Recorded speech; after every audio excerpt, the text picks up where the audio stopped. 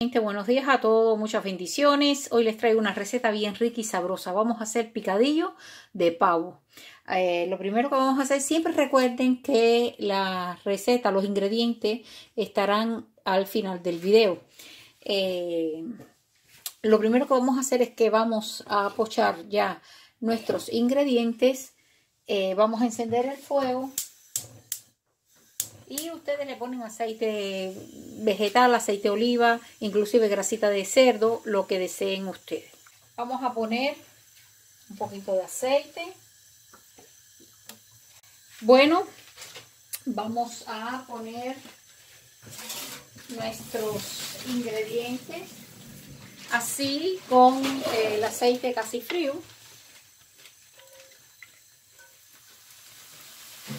Ok fuego medio bajo para que se poche suavemente, se nos haga, vaya sofriendo suavemente. Vamos a ponerle la salsa, vamos a ponerle un poquito de pimienta, esto al gusto del consumidor, cantidad necesaria. Voy a ponerle un poquito de orégano.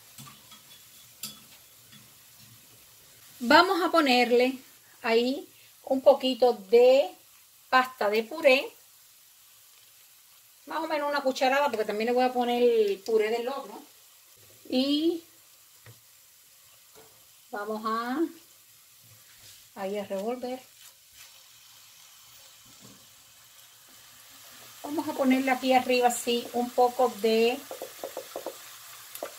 de pimentón, esto es opcional, si no tienen, no importa, ya con el puré, pues le da ese sabor, no pasa nada. Si no tienen, no se preocupen. Y le voy a poner un poquito de comino, media cucharadita. Vamos a poner eh, nuestra salsa de puré o de puré de tomate, salsa de tomate, o le pueden poner también tomate al natural, ¿ok mi gente? Que queda delicioso.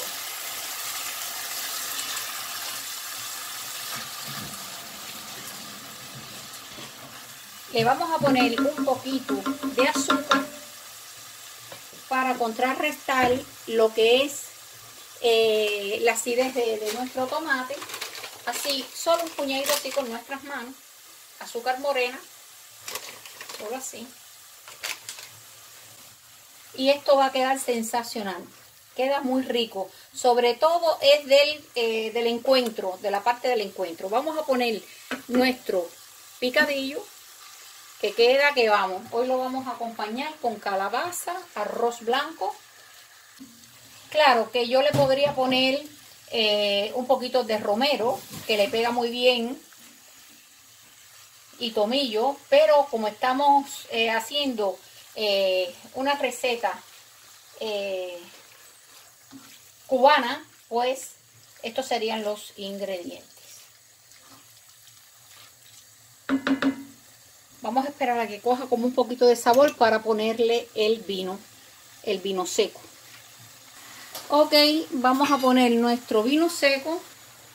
Vamos a poner aproximadamente unos 120 mililitros. Vamos a esperar a que evapore ese alcohol unos o dos minutos. Y vamos a ponerle un chorrito de salsa china.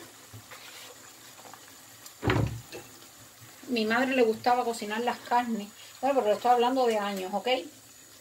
Con salsa china. Lo que era una salsa china bien rica, yo me recuerdo. Tenía un sabor y bien saladita.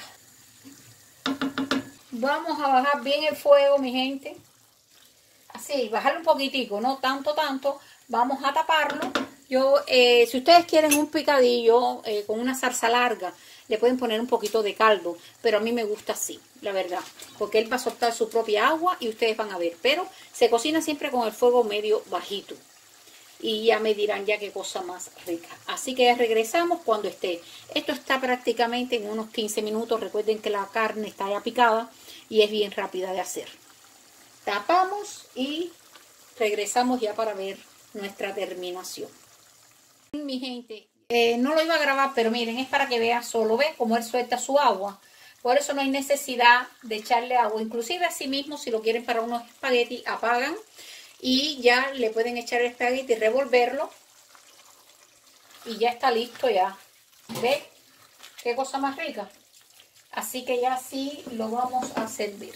Bueno, mi gente, aquí ya la terminación de nuestro picadillo. Hoy lo pienso acompañar con calabazas hervidas a vapor, eh, nuestro aguacate y arroz. Así que no los entretengo más. Espero que pasen un lindo domingo. Desearles a todos muchas bendiciones. Muchas gracias a mis suscriptores y a las personas que se están suscribiendo. Si pueden, regálenme un like y pueden compartir mi receta. Y como siempre digo, si Dios quiere y lo permite, seguiremos en la siguiente receta, mi gente. Chao.